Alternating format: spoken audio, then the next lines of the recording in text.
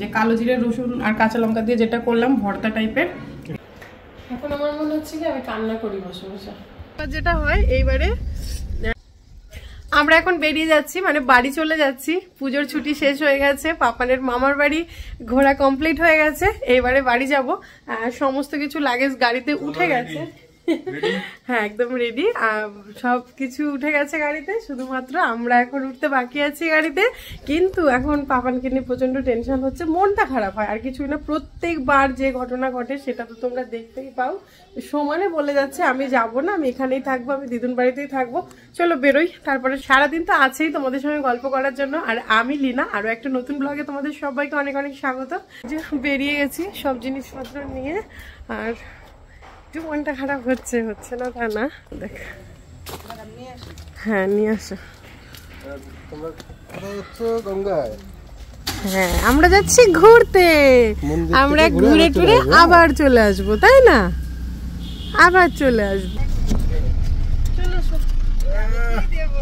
হ্যাঁ দিদুন একটা সারপ্রাইজ দেবে। সারপ্রাইজটা দাও। হ্যাঁ দিদুনকে বলো বলো। না না দিদুন বসো ভালো করে বসো দিদুন তাড়াতাড়ি বসো তা দিদুন সারপ্রাইজ দেবে। গিলি গিলি সু, গিলি গিলি চু, চু, গিলি গিলি চু, চু, গিলি গিলি সু। খুশি তুমি? খুশি সারপ্রাইজ পেয়ে। এদিকে দাদুর পাশে।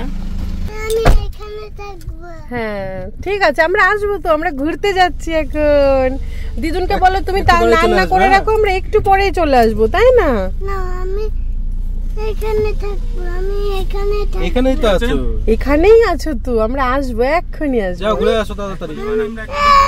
আমার আইফোনটা নিয়েছো? হ্যাঁ, চার্জার চার্জার সব মন্দির থেকে ঘুরে আয় তাড়াতাড়ি হ্যাঁ? আসলাম। হ্যাঁ আসলাম সাবধানে। থাকিস। মা ঠিকঠাক করে খেয়ে নিও ওষুধ যাচ্ছি।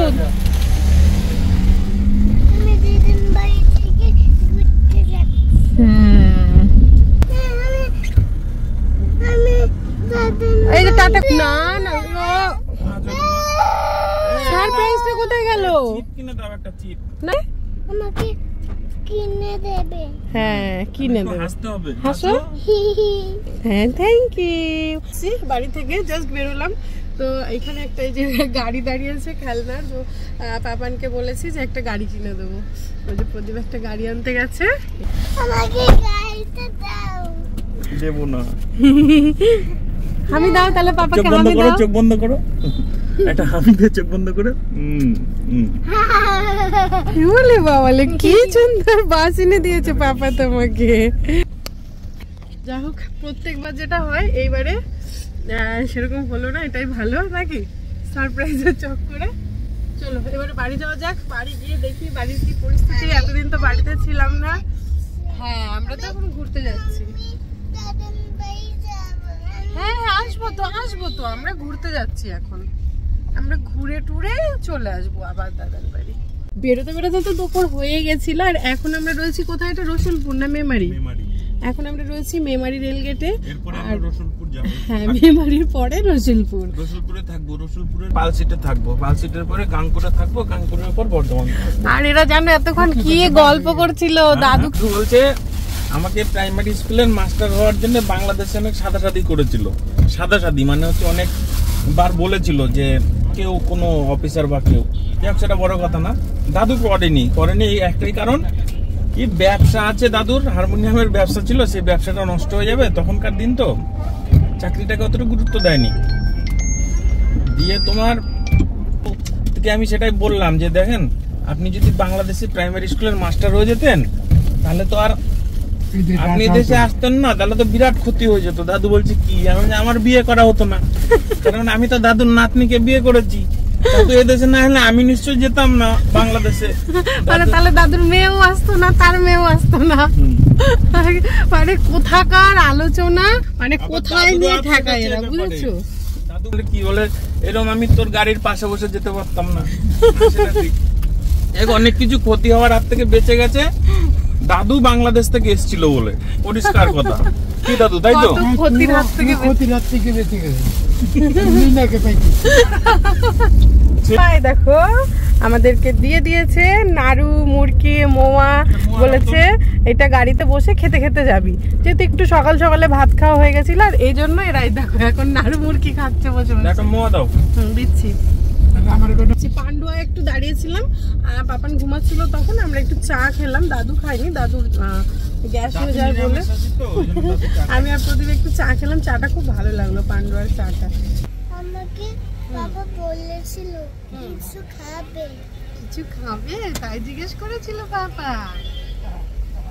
পাপা আমাকে বলেছিল কিছু খাবে? এখন আমরা দাঁড়িয়েছি শক্তিগড়ে দেখো সব লাইট জ্বলে গেছে সন্ধে সন্ধে হয়েই গেছে। হ্যাঁ তো একটুখানি ল্যাংচা নেওয়া হলো যেহেতু বিজয়ের পরে আমরা বাড়ি যাচ্ছি বাড়ি ঢুকে গেছি। ও ওই যে পেছনে আমার দাদু বসে আছে। আর এই যে বৌমাসটা বাড়ি ঢুকে সব খেলনাগুলো পেয়ে গেছে একটু আনন্দ আনন্দ হচ্ছে। প্রথমে যখন গাড়িটা বাড়ির গলিতে ঢুকলো তখনই বলছে যে আমি দাদান বাড়ি যাব বাড়ি যাব না। তারপরে বাড়ি ঢুকে এখন মুডটা ঠিক হয়ে গেছে। খেলনাগুলো পেয়ে গেছে তাই না? ইস, বলি বাবলি এটা হাসা? বম্বাস। বম্বাস। চাদরটা ধরো, কয়েকদিন ধরে পাতা রয়েছে। সেই তো সপ্তমীতে পেতেছিলাম। তো এখন এটাকে তুলবো, তুলে পরিষ্কার পরিচ্ছন্ন করব, করে একটু ঝেড়ে ঝুড়ে এইগুলো সব মুছে টুছে চাদরটা পেতে নেব। তাহলে মোটামুটি কাজ কমপ্লিট, আর সকালবেলা তো কমলা এসে ঘরটার মুছে দিয়েই গেছে। এই দেখো, এসেই শুরু হয়ে গেছে। হচ্ছে কি আমি কান্না করি বসে বসে। কেন? মানে রান্নাঘর ঘর বাড়ি তো ঠিক আছে ভেতরে ঢুকে দেখলাম কিন্তু রান্নাঘরটা দেখে আমার কান্না পেয়ে যাচ্ছে। মানে কি বলব আমি যেরকম রেখে গেছি দেখো এখানে একটা কুমড়ো ছিল কুমড়ো গিলে গেছে আমি ফ্রিজে ভরে দিতে দেখো। কেমন লাগে? না লেট করে লাভ নেই ফটাফট কাজ করো আমিও করে দিচ্ছি। নোংরা হয়ে গেছে রান্নাঘরটা। বলার মতো না কেমন লাগছে? জল জল পড়ে। কি অবস্থা? কমলা বলল যে পরিষ্কারই আছে রান্নাঘর। মনে আজকে আসেনি রান্নাঘর কিছু করতে। সত্যি করে দাঁড়িয়েছিলাম একটুখানি ল্যাংচা নিয়েছি এখন কত কাজ বলো তো? এগুলোকে পরিষ্কার করা এই যে জল ফেলেছে এইগুলোকে পরিষ্কার করা তারপরে আবার রান্না বান্না করতে হবে রাতে। ভাবো একদিনের জন্য মানে দু তিন দিনের একদিনের জন্য গেলে এত কিছু অসুবিধা দিনের জন্য গেলে রান্নাঘরটার অবস্থা। আর দাদুকে দিয়ে দেওয়া লাগে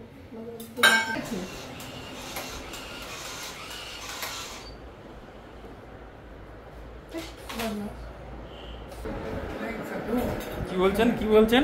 খেতে খুব ভয় লাগছে কিন্তু ল্যাংসা তো লোক সংগত হচ্ছে আচ্ছা ঠিক আছে তাহলে খেয়ে নেন। ল্যাংচাটা খুলে সবাইকে দিলাম তো সবার একটু হালকা পাতলা টিফিন হয়ে গেল, কারণ ল্যাংচা খেয়ে একটু জল খেলেই বাস হয়ে যায়। আর এই দিকে আমি চলে এসেছি বিছানা চাদর চেঞ্জ করতে। আর জামা কাপড় আগেই আমি চেঞ্জ করলাম না, এই কারণেই আমি সেই পায়রাঙ্গা থেকে বাড়িতে উঠি, বর্ধমানে এসে নামি। আর তো কোথাও নামি না, ওই গাড়িতেই বসে হয়তো একটু চাটা খাই বাথরুম ফাথরুমেও যাই না, কোনো কিছু না। কিন্তু আমি যদি রাস্তায় বাথরুমে যাই কোনো কারণে পাবলিক টয়লেটে তাহলে এসে আমি আগে চেঞ্জ করব, তারপরে ঘরে ঢুকবো। এটা আমার বাতিক বলতে পারো, কিন্তু যেহেতু আমার বাড়ির গাড়ি, আর বাড়ি থেকেই বেরিয়েছি, আবার বাড়িতে এসে ঢুকেছি সেজন্য আর চেঞ্জ না করলেও অতটাও অসুবিধা হয় না। আর এইদিকে দেখো দেখেছ? আমা- বিছানার চাদরটা চেঞ্জ করছি, সমানে কি করছে আমার সঙ্গে দেখে বুঝতে পারছ? মানে আমাকে কীভাবে কাজ করতে হয়? মানে এত দুরন্ত এত দুরন্ত পাবান কিন্তু সবাই বলে বাচ্চারা দুরন্ত থাকা ভালো, বাচ্চারা দুরন্ত আছে মানে ও অ্যাক্টিভ আছে, ওর শরীর ভালো আছে, ও সুস্থ আছে। তো সেই জন্য আর আমার খারাপও লাগে না, বেশ ভালোই লাগে। একটু চুপচাপ থাকলেই বরঞ্চ মনে হয় যে ইমান চুপচাপ কেন? ঘুমাচ্ছে তো মানে মনে হয় যেন ঘুমাচ্ছে, কখন উঠবে এরকম একটা ব্যাপার। আবার কখনো কখনো মনে হয় ঘুমাচ্ছে, ঘুমাকে, একটু পরেই ডাকি, আমি এই কাজটা করিনি। দেখো, পরিস্থিতির ওপর সব কিছু ডিপেন্ড করে। কিন্তু বাচ্চারা দুরন্তপনা করলে ভালোই লাগে, খারাপ কিছু লাগে না।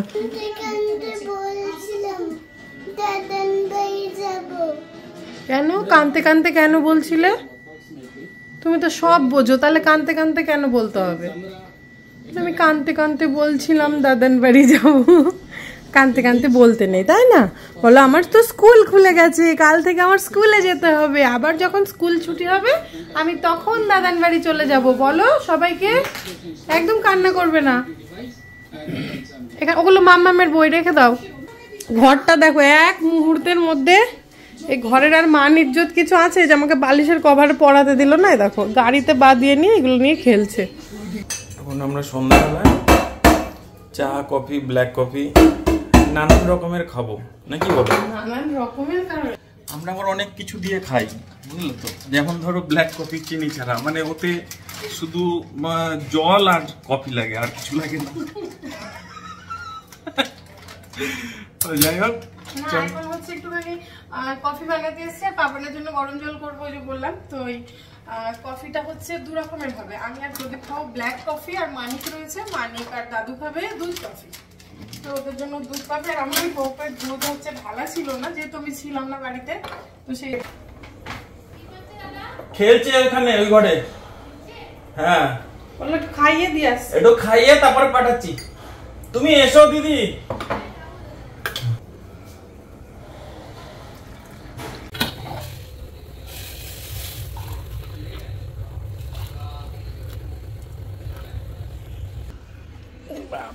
রে চলো রেডি এখন নিচে গিয়ে একটুখানি চা টিফিন করি। দাদুর হচ্ছে কফি সব থেকে ফেভারিট কফি দেখলে দাদুর বত্রিশটা দাঁত বেরিয়ে যায় বলো দাদু। চা খেতে অত ভালোবাসে না দাদু। আরও বেশি দাঁত যদি থাকতো তাও কফি খেতে খুব ভালোবাসে। আমিও তাই চায়ের থেকে কফি একটু বেশি ভালোবাসি। একটা পাপানে আর কমা দেবে না মানি কত খায় না ওকে এমনি বেশি দেওয়া হয়ে গেছে। এই তো প্রদীপ এই তো প্রদীপের এই যে প্রদীপের। ও দাদু এই তো একটা প্রদীপের একটা আমার আমাদের ব্ল্যাক কফি ধরো। হ্যাঁ সব থেকে কম।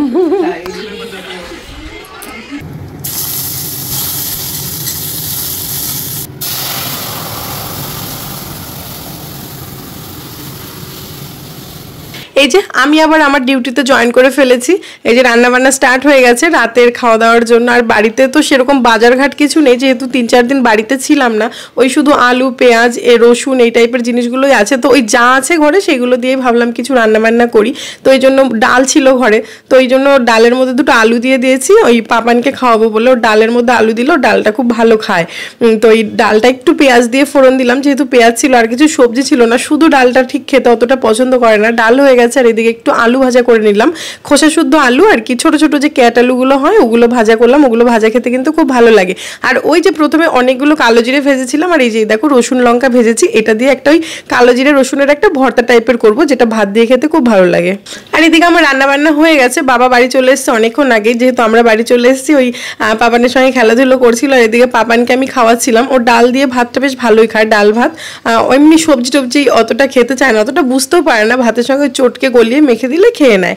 হ্যাঁ ও মাছ খেতে খুব ভালোবাসে, ও চিকেন ভালোবাসে না, ও ডিম খেতে অতটা ভালোবাসে না। কিন্তু মাছের ঝোল হলে ওকে খাওয়ানো নিয়ে আর কোনো সমস্যাই হয় না, কিন্তু ডাল ভাতও ভালোবাসে খেতে। আর এই বাবা দেখছে মানে বাবা না মানে হয় না সে নাতি খেলছে, নাতি দুষ্টুমি করছে, নাতি খাচ্ছে, সেটাই মন দিয়ে বসে বসে দেখে। নাতি হচ্ছে ওনার জীবনের মানে সমস্ত কিছু। আর নাতি ছাড়া উনি আর কিচ্ছু চেনে না এখন। বাবা বলল যে, আগে ওকে খাইয়ে নাও, পরে আমি খাব। তো পাপানের খাওয়া হয়ে গেলে বাবাকে ভাত বেরিয়ে দিয়েছি, বাবা খেয়েছে আর প্রদীপের একটু কাজ ছিল তারপরে আমরা দুজনে মিলে একসঙ্গে খেয়ে নিয়েছি। এই যে রান্না বান্না হয়ে গেছে ভাত বেড়ে দিয়েছে আর এই যে দেখো এই যে কালো জিরে রসুন আর কাঁচা লঙ্কা দিয়ে যেটা করলাম ভর্তা টাইপের। এটা ভাত দেখেই খেতে ইচ্ছে হচ্ছে এটা ভাত দিয়ে খেতে খুবই ভালো লাগে। সেন্টটা খুব একদম রাতের সিম্পল রান্না। পাপানকে খাওয়ানো কমপ্লিট হয়ে গেল, বাবার খাওয়া কমপ্লিট হয়ে গেছে, এখন আমরা দুজনে খেয়ে নিচ্ছি। পাপান বাবার সাথে খেলা করছে, সেই সুযোগে আমরা দুজনে খেয়ে নিই। খেয়ে দিয়ে গিয়ে পাপানকে ব্রাশ করাবো, দিয়ে তারপরে ওকে শুয়ে দেবো। চলো, এই ছিল আজকে সারাদিন, তোমাদের সঙ্গে শেয়ার করলাম। তোমাদের কেমন লাগল অবশ্যই কমেন্টে জানাবে। ভালো লাগলে অবশ্যই লাইক কমেন্ট শেয়ার করে দিও। আর নতুন হয়ে থাকলে অবশ্যই চ্যানেলটাকে সাবস্ক্রাইব করে দিও। অনেকদিন পরে বললাম কিন্তু কথাটা। অবশ্যই নতুন হলে কিন্তু সাবস্ক্রাইব করে দিও। চলো, টাটা।